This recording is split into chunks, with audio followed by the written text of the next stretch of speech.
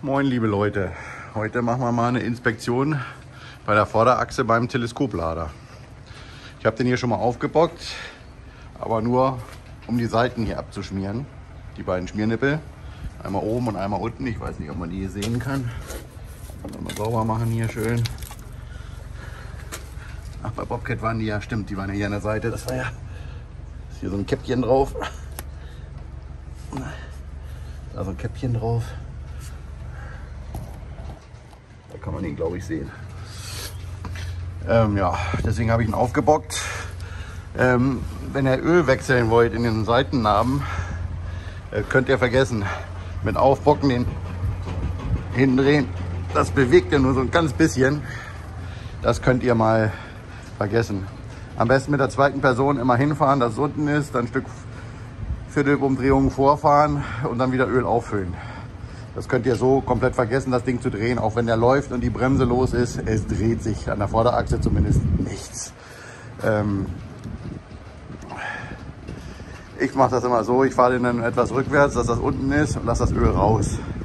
Dann fahre ich ihn einfach nach vorne, eine Viertelumdrehung. Man kann natürlich auch die Stollen vom Profil zählen, damit man nicht so oft drauf und absteigen muss. So dass er wieder steht, dass man ihn auffüllen kann. Ja, ich zeige euch das jetzt alles mal. Das Gute an diesen 24 Zoll Folgen ist, dass man hier so eine Leckschein ähm, Dings genau drunter stehen kann. Ja, ich weiß, er ist nicht ganz genau unten, aber ich würde mal sagen, das ist egal, weil ich mache hier alle 500 Stunden die Rattenarmen zumindest neu, weil wie ihr seht, das ist ähm, jetzt vielleicht ein bisschen besser, das High Guard ähm, John Deere drauf. Ähm, und das wird sogar etwas schwarz, was man sonst von den Rattenarmen nicht erwarten würde. Deswegen mache ich hier alle 500 Stunden neues Öl drauf. Ähm, das ist aber bei Bobcat ein allgemeines Problem. Das hatte ich bei meinem alten Bobcat auch schon. Die Radnamen sind hier relativ hoch belastet. Na gut, die ganze Karre wiegt 8 Kilo leer, 8 Tonnen, 8 Kilo ja, 8 Tonnen leer. Ähm, scheint natürlich, dass die Radnamen ganz schön hoch belastet sind bei dem. Aber wie gesagt, ich mache alle 500 Stunden Dinger neu. Und wenn da jetzt nicht alles unten rauskommt, ähm, ist das auch nicht so schlimm. Wichtig ist, dass da mal ein bisschen neues Öl draufkommt. Wichtig ist beim Abschmieren nur, dass ihr den Kopf vorher sauber macht, falls da keine Kappe drauf ist. Ähm, dass ihr ja keinen Sand damit reindrückt, weil das wäre echt schade. Und sonst drücke ich hier so vier, fünf Schläge. Man muss halt gucken, da unten kommt es schon. Also Vier Schläge reicht hin. Dann wie gesagt diese Kappen. Ich sehe die mit einem lachenden und einem weinenden Auge, weil mh, mm, äh, ja, es ist schön, man muss die Köpfe nicht sauber machen, aber die sind meistens recht krummelig. Hier unten ist der Bolzen von unten drin. Da ist auch eine Kappe drauf. Gut, da braucht man halt nicht so schön hin, hingucken, ob, die, ob der Schmiernippel sauber ist. Oh.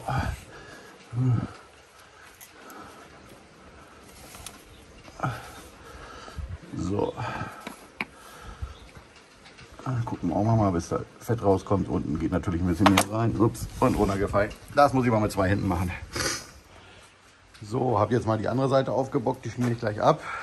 Und mache hier in der Mitte das Öl neu. Vorne müsst ihr auch alle 500 Stunden mit neu machen, weil da die Bremse drin ist. Das Auffüllen ist hier eher schwierig. Da müsst ihr ein bisschen, da zeige ich aber bei dem Auffüllen noch was dazu, weil das einmal durch die Bremse laufen muss. Das ähm, dauert etwas. Wichtig ist, hier habe ich schon einen schönen Ölfleck gehabt, weil da richtig Überdruck drin war in der Vorderachse. sollte ja eigentlich nicht sein. Äh, macht ja aber keinen Unterschied, weil die das trotzdem dicht hält. Wir haben heute gefühlt 5 Grad und es regnet. Ähm, oder vielleicht sind es auch 10. Warte mal, ich guck mal. 7 Grad haben wir und es regnet.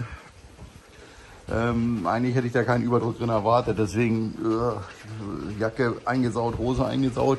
Äh, da ist ganz schön Überdruck drauf gewesen. Ich werde noch mal gucken, ob er einen Lüfter hat und den vielleicht noch mal reinigen. Ich meine, hier ist das nicht ganz so schlimm. Er bremst trotzdem, er fährt trotzdem.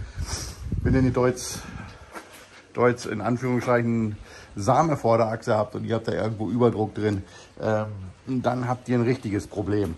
Aber dazu sage ich dann was, wenn ich für den Agro Plus die Vorderachse warte, da sage ich dazu noch was. Ähm, ja, gut, jetzt machen wir erstmal weiter. Ich schmiere die Seite jetzt erstmal ab und dann sehen wir uns gleich nach dem nächsten Schnitt wieder beim Ölauffüllen. So, ähm, bevor ich jetzt Öl auffülle, habe ich jetzt erstmal den Entlüfter gefunden. Der sitzt hier also quasi vorne gleich oben in der Ecke.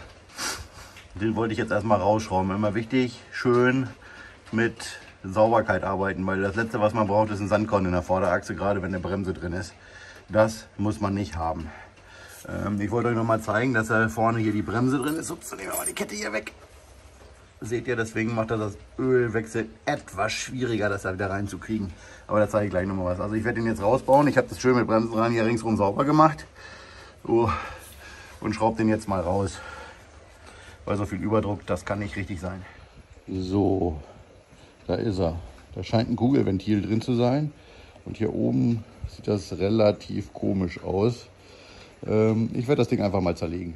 So, habe jetzt einfach mal den Deckel runtergeschraubt, habe quasi den Sechskant eingespannt in den Schraubstock und den Deckel einfach hier vorne mal einfach runtergedreht mit der Wasserpumpenzange. Sollen wir mal gucken, was da drin ist. Es sieht auf jeden Fall schon etwas oxidiert aus. Kommt auf jeden Fall eine Feder, also ist das schon mal mit Rückschlagventil. Also sollte der theoretisch ja da einen Unterdruck aufbauen. Das ist die Platte. Und das sollte hier, da ist ein O-Ring drunter, zum Abdichten. So, jetzt will ich das alles nochmal schön sauber machen und gucken, ob das gängig ist. Nicht, dass es einfach nur geklemmt hat. So, jetzt habe ich mir mal was gegönnt und zwar gibt es das, habe ich das jetzt jedenfalls bei Ökoprofi gesehen. Das ist so eine Kanne mit Pumpe. Da habe ich jetzt Highguard reingemacht mit Skala, wie viel Liter das ist und so ein Haufensatz. Das ist eigentlich für die Autoindustrie gedacht, hier für VW Doppelkupplungsgetriebe und Daimler Benz oder sowas. Aber wenn man hier echt Öl einfüllen kann, so richtig kacke, ähm, habe ich jetzt einfach mal gedacht, ich hab, war sogar das richtige Gewinde hierfür. Und dann kann ich jetzt hier mal schön, Moment, ich drehe das einfach mal 180 Grad, sehe zwar die Skala nicht mehr, kann ich aber besser pumpen, kann man einfach mal das Öl hier schön reinpumpen. Ich weiß, in die Achse passt ungefähr 5 Liter rein. Da pumpe ich jetzt erstmal 4 Liter rein. Ähm, das ist, glaube ich, schon mal deutlichst einfacher, als wenn ich jetzt 2 mm habe, um das irgendwie einzuführen. Und dann muss das durch die Bremsscheiben runterlaufen, bis das in die ganzen Achse verteilt ist. Was soll ich dazu sagen? Das dauert halt. Und ich pumpe jetzt hier die ganze Zeit. Gucken wir mal, wie viel Ach so, wir können das auch drehen hier oben. Huch, siehst? Wird gelernt. Drehen wir die Pumpe mal rüber. So. Jetzt haben wir schon mal, schon mal fast zwei Liter drin. Also das gefällt mir schon mal gut. Hier kann man übrigens auch zurückziehen, das Ganze. Theoretisch soll die Pumpe dann in eine andere Richtung pumpen. Hm, macht sie eigentlich auch nicht, aber naja, schauen wir mal.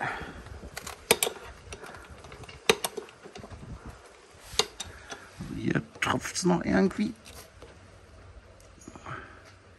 Ich muss hier, glaube ich, noch mal gucken, wie das genau zusammengeht. Aber das ist mal, wie gesagt, das war nicht teuer. Ich muss noch mal nachgucken, wie teuer das war. Blende ich euch mal wieder ein. So, habe jetzt mal 5 Liter reingedrückt.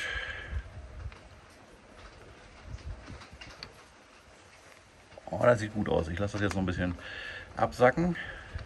Wenn mir jetzt einer sagt, jawohl, hier ist eine Auffüllschraube. Ja, das ist richtig. Das kann man bei dieser Achse auch machen. Alles gut. Aber wenn ihr einen älteren Bobcat habt und ihr die andere Schraube, der hat da auch zwei links und rechts, wenn ihr die falsche rausschraubt, kommt euch da ein Ventil entgegen. Wenn ihr nicht darauf vorbereitet seid und der ganze Mist fällt euch in den Sand, ist das scheiße. Deswegen habe ich das jetzt einfach mal so gemacht, wie man es bei allen Achsen macht. Hier kann man zur Not da oben auch einfüllen. Dauert bloß ewig, bis es durchs Paket durchgelaufen ist, in, die, in, den, in den Fahrtrichtung linken Achschenkel reingelaufen ist. Und den rechten natürlich auch, das dauert halt.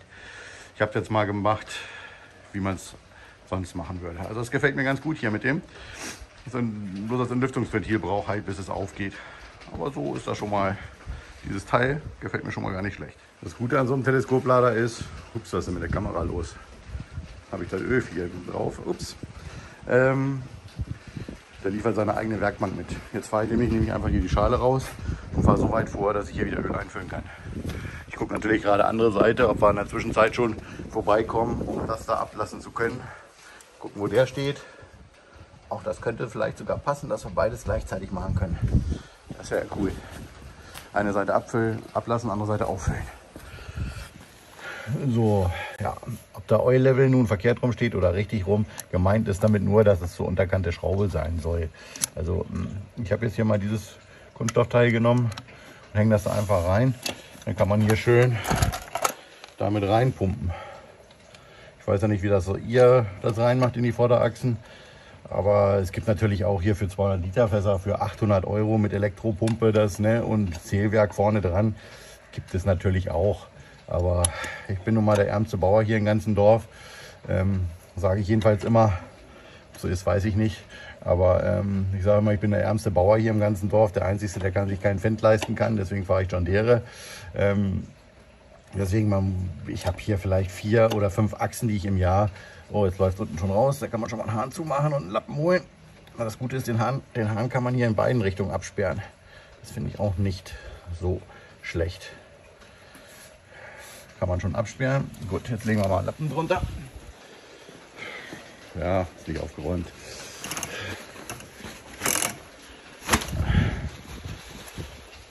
So, und dann gucken wir mal in der Vorderachse, wie weit das ist, ob wir da ein bisschen nachfüllen müssen. das so richtig abgesackt ist. Nee, steht immer noch Kante. Ich weiß nicht, ob man das mit der Kamera sehen kann.